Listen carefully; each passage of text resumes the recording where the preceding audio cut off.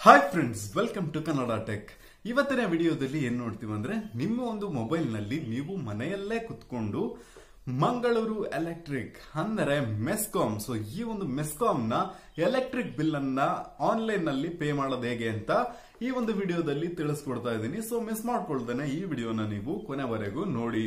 So ಅದಕ್ಕಿಂತ ಮೊದಲು ನೀವಿನ ಕನ್ನಡ ಟೆಕ್ ಚಾನಲ್ಗೆ ಸಬ್ಸ್ಕ್ರೈಬ್ ಮಾಡ್ಕೊಂಡಿಲ್ಲ ಅಂದ್ರೆ ಸಬ್ಸ್ಕ್ರೈಬ್ ಮಾಡಿಕೊಂಡು ಪಕ್ಕದಲ್ಲಿರುವ ಬೆಲ್ ಬಟನ್ ಕ್ಲಿಕ್ ಮಾಡ್ಕೊಳ್ಳಿ.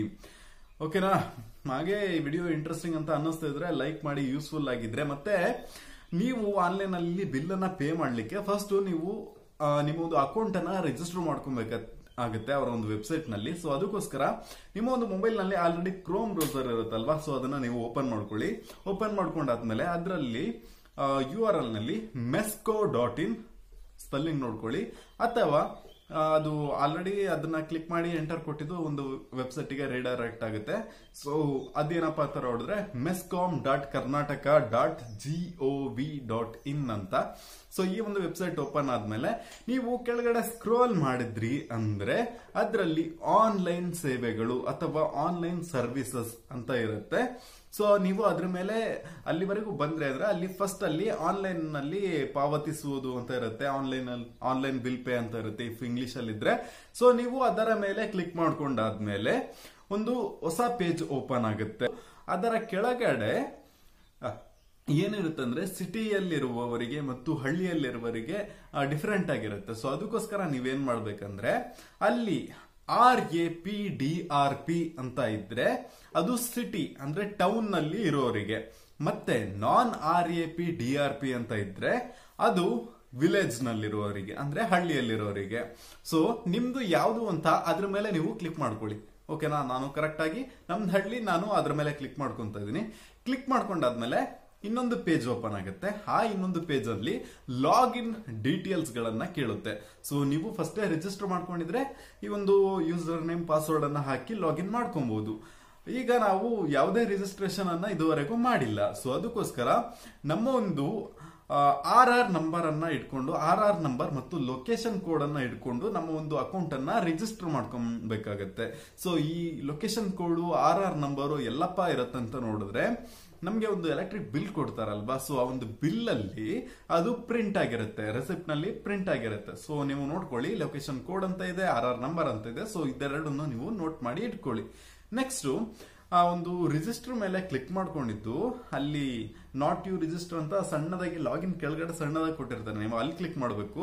ರಿಜಿಸ್ಟರ್ ಮೇಲೆ ಕ್ಲಿಕ್ ಮಾಡ್ಕೊಂಡಿದ್ದು, ಅಲ್ಲಿ ನಿಮಗೆ ಒಂದು ಯೂಸರ್ ನೇಮ್ ಅನ್ನ ಸೆಟ್ ಮಾಡಲಿಕ್ಕೆ ಕೇಳುತ್ತೆ. ಸೊ ನೀವು ನಿಮ್ಮ ಒಂದು ಯೂಸರ್ ನೇಮ್ನ ಫಾರ್ ಎಕ್ಸಾಂಪಲ್ ನಂತರ Manjunath six two nine seven ಆ ರೀತಿ ನಿಮ್ಮ ಹೆಸರು ಹಾಕಿ ನಿಮಗೆ ಯಾವ ಕೋಡ್ ಗ್ಯಾಪ್ನ ಇರುತ್ತೋ ಸೊ ಯಾವ ನಂಬರ್ ಗ್ಯಾಪ್ನ ಇರುತ್ತೋ ಪಕ್ಕದಲ್ಲಿ ಹಾಕೊಳ್ಳಿ for example your date of birth so ಈ ರೀತಿ ಹಾಕೊಳ್ಳೋದ್ರಿಂದ ನಿಮ್ ಬೇರೆಯವರು ಇಟ್ಟಿರೋ ಯೂಸರ್ ನೇಮ್ನ ನೀವು ಇಟ್ಕೊಳಕ್ಕಾಗಲ್ಲ, ನಿಮ್ದ ಡಿಫ್ರೆಂಟ್ ಯೂಸರ್ ನೇಮ್ ಇರುತ್ತೆ. ಓಕೆ ಯೂಸರ್ ನೇಮ್ನ ಇಟ್ಕೊಂಡು ಚೆಕ್ ಅವೈಲಬಿಲಿಟಿ ಮೇಲೆ ಕ್ಲಿಕ್ ಮಾಡ್ಕೊಳ್ಳಿ.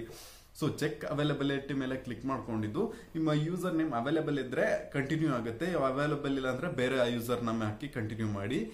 ಆಫ್ಟರ್ ದಟ್ ಏನ್ ಮಾಡ್ಬೇಕು ಅಂದ್ರೆ, ನಿಮ್ಮ ಒಂದು ಆರ್ ಆರ್ ನಂಬರ್ ಸೇಮ್ ಹೇಳದ್ನಲ್ಲ ಬಿಲ್ ಅಲ್ಲಿ ಆರ್ ಆರ್ ನಂಬರ್ ಇರುತ್ತೆ ಅಂತ. ಸೊ ಆ ಒಂದು ಆರ್ ಆರ್ ನಂಬರ್ನ ಅಲ್ಲಿ ಕೆಳಗಡೆ ಆರ್ ಆರ್ ನಂಬರ್ ಅಂತ ಇದೆಯಲ್ಲ, ಅಲ್ಲಿ ಕ್ಲಿಕ್ ಮಾಡ್ಕೊಳ್ಳಿ. ಅಂದ್ರೆ ಅಲ್ಲಿ ಎಂಟರ್ ಮಾಡ್ಕೊಳ್ಳಿ. ನಾನು ಯು ಎಲ್ ಸಮಥಿಂಗ್ ನಂಬರ್ ಇದೆ. ಸೊ ಅದನ್ನ ಎಂಟರ್ ಮಾಡ್ಕೊಂತ ಇದ್ದೀನಿ. ಮೇಲ್ಗಡೆ ಲೊಕೇಶನ್ ಕೋಡ್ ಅಂತ ಇದೆ. ಸೊ ಅದು ಕೂಡ ನಿಮ್ಮ ಒಂದು ಎಲೆಕ್ಟ್ರಿಕ್ ಬಿಲ್ನಲ್ಲಿ ಇರುತ್ತೆ ಓಕೆನಾ ಸೊ ಅಲ್ಲಿ ಎಲೆಕ್ಟ್ರಿಕ್ ಬಿಲ್ನಲ್ಲಿ ಒಂದು ಲೊಕೇಶನ್ ಕೋಡ್ ಇರುತ್ತೆ. ಅದನ್ನ ಹಾಗೆ ಅಲ್ಲಿ ಟೈಪ್ ಮಾಡಿಕೊಂಡು ಸಬ್ಮಿಟ್ ಡೀಟೇಲ್ಸ್ ಮೇಲೆ ಕ್ಲಿಕ್ ಮಾಡ್ಕೊಳ್ಳಿ. ಆಫ್ಟರ್ ದಟ್ ಇನ್ನೊಂದು ಪೇಜ್ ಓಪನ್ ಆಗುತ್ತೆ. ಅದರಲ್ಲಿ ಆರ್ ಆರ್ ನಂಬರ್ ಜೊತೆಗೆ ಮುಂದೆ ನಾವು ಹಾಕಿದ ನಂಬರ್ ಕೂಡ ಬಂದಿರುತ್ತೆ. ಅದನ್ನ ನೀವು ಯಾವುದೇ ತರಹದ ಎಡಿಟ್ ಮಾಡ್ಕೊಳ್ಳೋದು ಬೇಕಾಗಿಲ್ಲ. ಮತ್ತೆ ಯೂಸರ್ ನೇಮ್ ಇರುತ್ತೆ. ಅದನ್ನು ಎಡಿಟ್ ಮಾಡಬೇಡಿ. ಮತ್ತೆ ಅದ್ರ ಜೊತೆಗೆ ನಾವು ನಮ್ಮ ಒಂದು ನೇಮ್, ಯಾರ ಒಂದು ಹೆಸರಲ್ಲಿ ಒಂದು ಎಲೆಕ್ಟ್ರಿಕ್ ಬಿಲ್ ಅಂದ್ರೆ ಎಲೆಕ್ಟ್ರಿಕ್ ಸರ್ವಿಸಸ್ ಅನ್ನ ತಗೊಂಡಿದ್ದೀವಿ ನಮ್ಮ ಮನೆಗೆ ಸರ್ವಿಸ್ ಅನ್ನ ತಗೊಂಡಿದ್ದೀವಿ, ಅವರ ಒಂದು ನೇಮ್ ಅನ್ನ ಹಾಕ್ಬೇಕು, ಮತ್ತೆ ನಮ್ಮ ಒಂದು ಇಮೇಲ್ ಐ ಡಿಯನ್ನ ಅದರಲ್ಲಿ ಹಾಕ್ಬೇಕು. ಇಮೇಲ್ ಐ ಡಿ ಹಾಕಿದ್ಮೇಲೆ ನಮ್ಮ ಒಂದು ಫೋನ್ ನಂಬರ್ ಅನ್ನ ಕೂಡ ಅದರಲ್ಲಿ ಹಾಕಿ ಸಬ್ಮಿಟ್ ಡೀಟೇಲ್ಸ್ ಮೇಲೆ ಕ್ಲಿಕ್ ಮಾಡಿದ್ರೆ ಈಗ ಏನಾಗುತ್ತೆ ಅಂದ್ರೆ ಒಂದು ಪಾಸ್ವರ್ಡ್ ಜನರೇಟ್ ಆಗಿ ನಮ್ಮ ಒಂದು ಇಮೇಲ್ ಐ ಡಿ ಇರುತ್ತಲ್ವಾ, ಆ ಒಂದು ಇಮೇಲ್ ಐ ಡಿಗೆ ಹೋಗಿರುತ್ತೆ. ಈಗ ನಮ್ಮ ಒಂದು ಎಂತ ಯೂಸರ್ ನೇಮ್ ಕ್ರಿಯೇಟ್ ಆಗಿದೆ ಪಾಸ್ವರ್ಡ್ ನಮಗೆ ಕಳಿಸ್ಕೊಟ್ಟಿದ್ದಾರೆ. ಸೊ ನಮ್ದು ರಿಜಿಸ್ಟ್ರೇಷನ್ ಕಂಪ್ಲೀಟ್ ಆಗಿದೆ. ಈಗ ಏನ್ ಮಾಡಬೇಕು, ನಮ್ಮ ಒಂದು ಇಮೇಲ್ ಐ ಡಿ ನಮ್ಮ ಒಂದು ಫೋನ್ನಲ್ಲಿ ಆಲ್ರೆಡಿ ಜಿಮೇಲ್ ಅಲ್ಲಿ ಲಾಗಿನ್ ಮಾಡಿ ಇಟ್ಕೊಂಡಿರ್ತೀವಿ. ಸೊ ಅದನ್ನ ನಾವು ಓಪನ್ ಮಾಡಬೇಕು. ಓಪನ್ ಮಾಡಿದ ನಂತರ ಅದರಲ್ಲಿ ಮೆಸ್ಕಾಮ್ ಇಂದ ಒಂದು ಇಮೇಲ್ ಬಂದಿರುತ್ತೆ. ಅದನ್ನ ಕ್ಲಿಕ್ ಮಾಡ್ಕೊಳ್ಳಿ. ಓಪನ್ ಮಾಡ್ಕೊಳ್ಳಿ. ಅದರಲ್ಲಿ ಪಾಸ್ವರ್ಡ್ ಅನ್ನ ಕೊಟ್ಟಿರ್ತಾರೆ. ಇಲ್ಲಿ ಕಾಪಿ ಪೇಸ್ಟ್ ವರ್ಕ್ ನಡೆಯೋದಿಲ್ಲ. ಸೊ ಆ ಒಂದು ಪಾಸ್ವರ್ಡ್ ಅನ್ನ ನೀವು ನೋಟ್ ಮಾಡಿಟ್ಕೊಳ್ಳಿ. ಮತ್ತೆ ಆ ಒಂದು ಮೆಸ್ಕಾಮ್ನ ವೆಬ್ಸೈಟ್ ಅನ್ನ ಓಪನ್ ಮಾಡ್ಕೊಳ್ಳಿ. ಸೊ ಅಲ್ಲಿ ಲಾಗಿನ್ ಡೀಟೇಲ್ಸ್ ಕೇಳುತ್ತಲ್ವಾ? ಅಲ್ಲಿ ನಿಮ್ಮೊಂದು ಯೂಸರ್ ನೇಮ್ ಅನ್ನ ಹಾಕಿ ಮತ್ತೆ ಪಾಸ್ವರ್ಡ್ ಏನು ಇಮೇಲ್ ಅಲ್ಲಿ ಕಳಿಸ್ಕೊಟ್ಟಿದ್ದಾರೆ, ಆ ಒಂದು ಪಾಸ್ವರ್ಡ್ ಅನ್ನ ನೀವು ಅಲ್ಲಿ ಹಾಕಬೇಕಾಗತ್ತೆ. ಸೊ ಅಲ್ಲಿ ಹಾಕಾದ್ಮೇಲೆ ನೀವು ಲಾಗಿನ್ ಮೇಲೆ ಕ್ಲಿಕ್ ಮಾಡ್ಕೊಂಡ್ರೆ ನಿಮ್ಮ ಒಂದು ಅಕೌಂಟ್ ಲಾಗಿನ್ ಆಗುತ್ತೆ. So firstly first time login ಮಾಡುವಾಗ ನಿಮ್ಮ ಒಂದು ಪಾಸ್ವರ್ಡ್ ಅನ್ನ ರಿಸೆಟ್ ಮಾಡ್ಲಿಕ್ಕೆ ಕೇಳುತ್ತೆ. ಸೊ ನೀವು ಒಂದು ಹೊಸ ಪಾಸ್ವರ್ಡ್ ಅನ್ನ ಸೆಟ್ ಮಾಡ್ಕೊಬೇಕಾಗುತ್ತೆ. ಫಾರ್ ಎಕ್ಸಾಂಪಲ್ ಅದರಲ್ಲಿ ಒಂದು ಕ್ಯಾಪಿಟಲ್ ಲೆಟರ್ ಇರಬೇಕು ಸ್ಮಾಲ್ ಲೆಟರ್ ಇರಬೇಕು, ಒಂದು ನಂಬರ್ ಇರಬೇಕು. ಸೊ ಮಿನಿಮಮ್ ಇದು. ಸೊ ಈ ತರ ನೀವು ಎಷ್ಟು ಬೇಕಾದ್ರೆ ಇಟ್ಕೊಬೇಕು ಇಟ್ಕೊಬಹುದು ಸೊ ಈ ರೀತಿ ಇರುವ ಹಾಗೆ ಒಂದು ಪಾಸ್ವರ್ಡ್ ಅನ್ನ ಸೆಟ್ ಮಾಡ್ಕೊಳ್ಳಿ. ಮೇಲು ಅದನ್ನ ಹಾಕಿ ಕೆಳಗಡೆ ಸೇಮ್ ಹಾಕ್ಬಿಟ್ಟು ಸಬ್ಮಿಟ್ ಕೊಟ್ರೆ ಅದು ಪಾಸ್ವರ್ಡ್ ಚೇಂಜ್ ಆಗಿಬಿಡುತ್ತೆ. ನೆಕ್ಸ್ಟ್ ಟೈಮು ನೀವು ಲಾಗಿನ್ ಮಾಡುವಾಗಿಂದ ಯೂಸರ್ ನೇಮ್ ನಿಮ್ದು, ಮತ್ತೆ ನೀವು ಸೆಟ್ ಮಾಡಿರುವ ಪಾಸ್ವರ್ಡ್ ಹಾಕೊಂಡು ಲಾಗಿನ್ ಮಾಡ್ಕೊಬಹುದು ಓಕೆನಾ ಸೊ ನೀವು ಆಟೋಮೆಟಿಕ್ ಲಾಗಿನ್ ಆದ್ರೆ ಓಕೆ ಲಾಗಿನ್ ಆಗಲಿಲ್ಲ ಅಂದ್ರೆ ನಿಮ್ಮ ಯೂಸರ್ ನೇಮ್ ಪಾಸ್ವರ್ಡ್ ಹಾಕೊಂಡು ಲಾಗಿನ್ ಮಾಡ್ಕೊಳ್ಳಿ. ಅಲ್ಲಿ ಲಾಗಿನ್ ಮಾಡ್ಕೊಂಡಾದ್ಮೇಲೆ ಅಲ್ಲಿ ನಿಮ್ಮ ಒಂದು ನೇಮು ಅಥವಾ ನಿಮ್ಮ ಒಂದು ಸರ್ವಿಸ್ ನಂಬರ್ ಇರುತ್ತೆ. ಅಲ್ಲಿ ಕೆಳಗಡೆ ಸೆಂಟರ್ ಅಲ್ಲಿ ನೋಡಿದ್ರೆ ವ್ಯೂ ಬಿಲ್ ಅಂತ ಇರುತ್ತೆ. ಸೊ ಬಿಲ್ ವ್ಯೂ ಬಿಲ್ ಮೇಲೆ ಕ್ಲಿಕ್ ಮಾಡಿದ್ರೆ ಬಿಲ್ ಓಪನ್ ಆಗುತ್ತೆ. ಸೊ ನಿಮಗೆ ಮನೇಲಿ ಏನು ಬಿಲ್ ಬಂದಿರುತ್ತೋ ಸೇಮ್ ಬಿಲ್ ಅದರಲ್ಲೂ ತೋರಿಸುತ್ತೆ. ಅದನ್ನ ಬೇಕಾದ್ರೆ ನೀವು ಪ್ರಿಂಟ್ ಮಾಡಿ ನಿಮ್ಮ ಒಂದು ಮೊಬೈಲ್ನಲ್ಲಿ ಸೇವ್ ಮಾಡಿ ಇಟ್ಕೊಬಹುದು ಸೊ ಓಕೆನಾ ಸೊ ಅಲ್ಲಿ ಬಾಟಮ್ ಅಲ್ಲಿ ಪೇ ಪ್ರಿಂಟ್ ಬಿಲ್ ಅಂತ ಇರುತ್ತೆ. ಅದರ ಟಾಪ್ನಲ್ಲಿ ಪೇ ಬಿಲ್ ಅಂತ ಇರುತ್ತೆ. ಸೊ ಬಿಲ್ ಅನ್ನು ಪಾವತಿಸಿ. ಸೊ ಅದರ ಮೇಲೆ ಕ್ಲಿಕ್ ಮಾಡಿಕೊಂಡ್ರೆ ಬಿಲ್ ಅನ್ನ ಪಾವತಿಸಲಿಕ್ಕೆ ಸುಮಾರು ಆಪ್ಷನ್ಗಳಿದಾವೆ ಯಾವ್ದ್ಯಾವ್ದಂತ ನೋಡಿದ್ರೆ ನೀವು A T M card debit card ಇಂದ ಪೇ ಮಾಡ್ಕೊಬಹುದು A T M card plus ಅದು ಪಿನ್ ಇರುತ್ತಲ್ವಾ?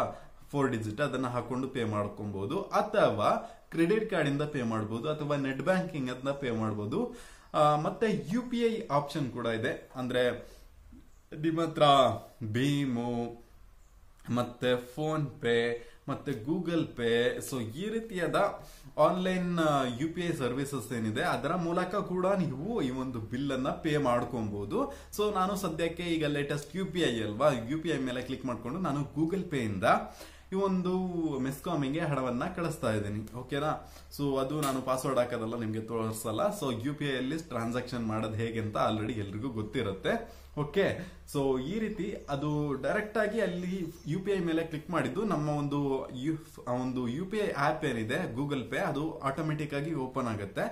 ಓಪನ್ ಆಗಿದ್ದು ಅಲ್ಲಿ ಹಣವನ್ನ ಅಲ್ಲಿ ಆಟೋಮೆಟಿಕ್ ಎಷ್ಟು ಹಣ ಹಾಕ್ಬೇಕು ಅಂತ ನಾವೇ ಟೈಪ್ ಮಾಡಬೇಕಾಗುತ್ತೆ. ಇಲ್ಲ ಅದು ಆಟೋಮೆಟಿಕ್ ಅದೇ ಟೈಪ್ ಮಾಡಿರುತ್ತೆ. ನಾವು ಎಂಟರ್ ಕೊಟ್ಟು ನಮ್ಮ ಒಂದು ಪಿನ್ ಅನ್ನ ಹಾಕಿ ಎಂಟರ್ ಕೊಟ್ರೆ ಅದು ಹಣ ಪೇಮೆಂಟ್ ಆಗ್ಬಿಡತ್ತೆ.